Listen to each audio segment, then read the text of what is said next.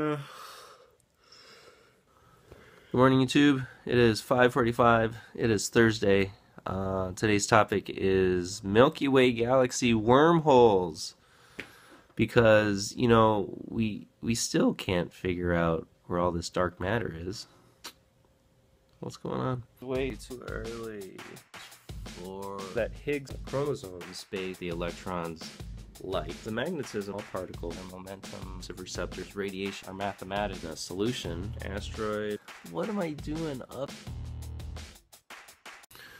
Um, so let's recap. Uh, dark matter. Uh, why do we think there's dark matter? Because the universe is uh, doing stuff to light uh, based off gravitational pull and mass in the universe, and we're looking around and we can't see where all this mass in the universe is. So there's got to be something there.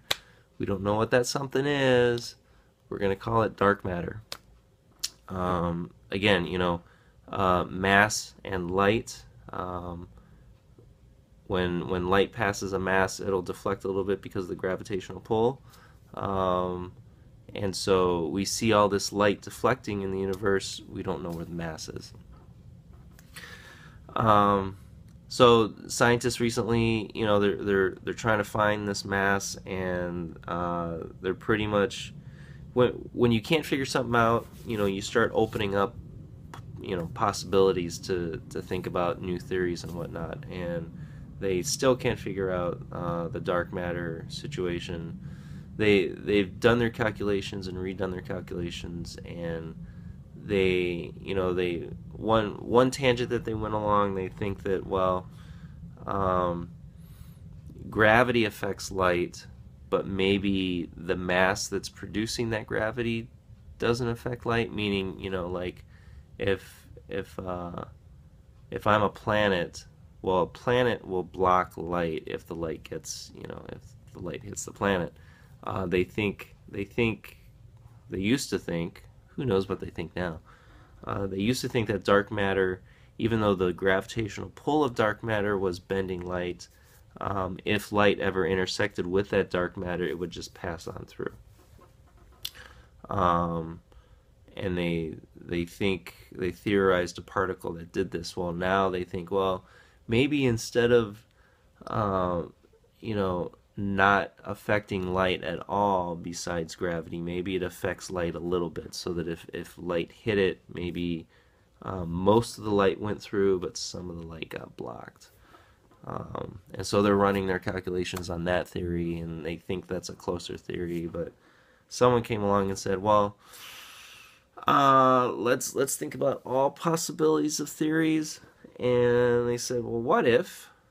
Uh, what if what if the Milky Way galaxy now again the Milky Way galaxy is the galaxy that we sit in.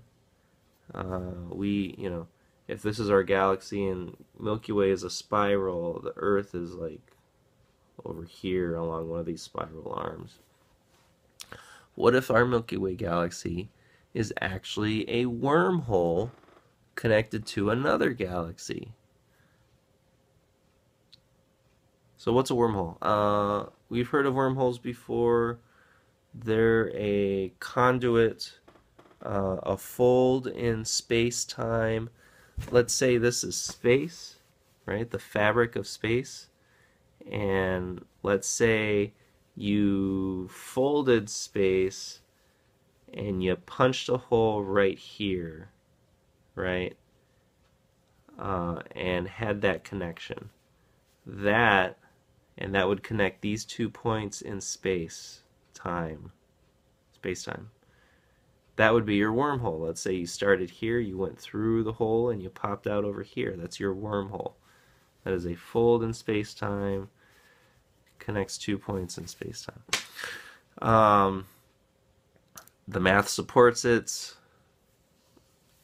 I don't know how. I mean, that's complicated math. Uh, but what what if the Milky Way galaxy is one of these wormholes? Could that account for the extra mass that we cannot detect um, that is gravitationally pulling light but not influencing light in any other way? Um, and the math says yes, we it could be. uh, the the Milky Way galaxy could be a wormhole, and not only that, the math says if it is a wormhole, it could be a navigable wormhole. Navigable? It's one of these words I saw, and I'm like, is that a word? Navigable, meaning able to be navigated. Uh, put that into your dictionary. Huh? It, the, the, the math says it is a navigable entity, meaning we could go into the wormhole and pop out somewhere else. Uh, we don't know where. Uh, we don't know if it's true. Again, eight years ago, our math said that the bumblebee didn't fly. And then we corrected it. Oh, bumblebee can fly. Well, right now our math says, yeah, yeah, we're a wormhole. Yeah, we can go through it. Yeah, we'll be fine. Uh, but who knows? Uh, is it testable? Not really. What are you going to do? Uh, we don't have any spacecraft. We can barely get beyond our solar system with a spacecraft. We, we got to to be able to test it, we'd have to be able to send spacecraft that travels a lot faster than what we have right now. We just don't have that tech. Uh, so for now, we'll just rely on math that uh, may or may not be true. Uh, it's it's certainly interesting to think about instead of instead of all this mass that's supposed to be here that we can't detect. What if light is behaving this way because um, the mass that we do detect here in the Milky Way galaxy is being helped out by mass on the other end of a wormhole that's connecting our galaxies. That's that's an interesting thought. Um, you know, that's uh, uh, it's kind of a brilliant explanation. That way we don't have to deal with these mystery particles or whatever. But who knows if it's true? It, it'd be difficult to test. But anyway, there you have it.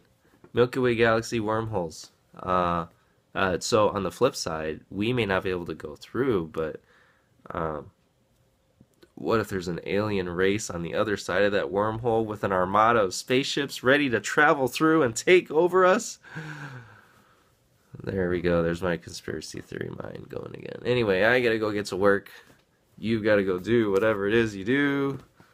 Um, I'll talk to you tomorrow. Thank you for watching another episode of Way Too Early for Explanations. If you enjoyed it, please click on the like button down here. If you want to follow me on Instagram or Twitter, I'll post links at the bottom of the description field. If you want to subscribe to my channel, you can do so by clicking on the subscribe button around here. If you want to get to my channel to see more videos, you can click on the link to Way Too Early for Explanations, or you can click on the eye chart that shows up in the upper right hand corner. Every morning I try to kick out more videos. Um, so stay tuned and come on back if you want to observe more early morning technobabble. Thanks again.